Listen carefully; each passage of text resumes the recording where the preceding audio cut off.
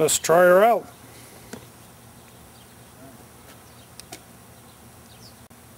First, first test ride of Sparky.